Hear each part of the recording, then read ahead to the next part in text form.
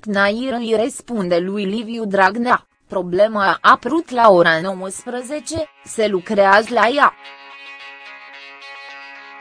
Liderul PSD, Liviu Dragnea, a scris, marți seară pe Facebook, ce a fost anuncat de mai multe persoane ce nu pot peleti taxa de pod la fete subliniere tip prin SMS.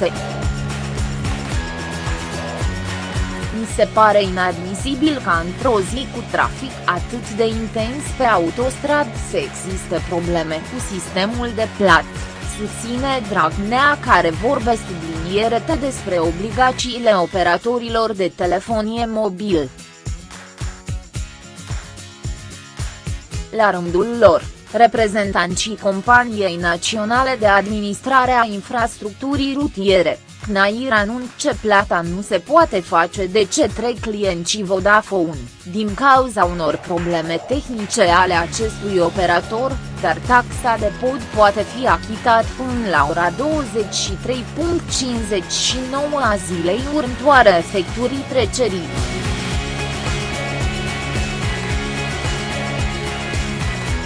Am primit multe mesaje astăzi de la oameni care se întorceau de la mare, pe autostrada Soarelui, ce nu pot peleti taxa de pod la fete subliniere tip prin SMS, deoarece sistemul nu funcționează. Mi se pare inadmisibil ca într-o zi cu trafic atât de intens pe autostrad să existe probleme cu sistemul de plata. Totuși, mă întreb subliniere eu, contractul dintre compania de drumuri, CNAIR, sublinierei operatorii de telefonie mobil nu concine subliniere INI subliniere te obligații de ambele perci. Cetcenii care nu au nicio vin nu trebuie protejați, scrie Dragnea pe Facebook. Reprezentanții CNAIR au anuncat printr-un comunicat de pres, ce problemă a apărut, marci, începând cu orele 1900. Abonații Vodafone în România care doresc să achite tariful pentru utilizarea podurilor peste Dunare între fete subliniere T subliniere I Cernavoda, peaj, nu pot face acest lucru din cauza unor probleme tehnice ale acestui operator de telefonie mobil.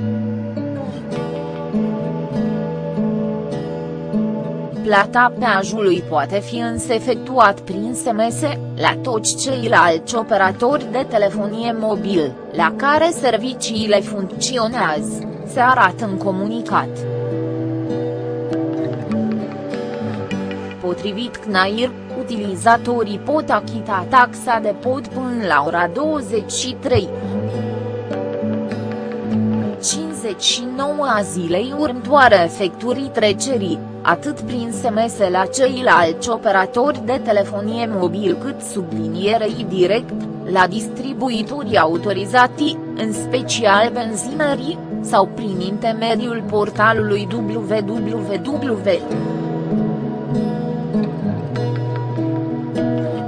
Erovieța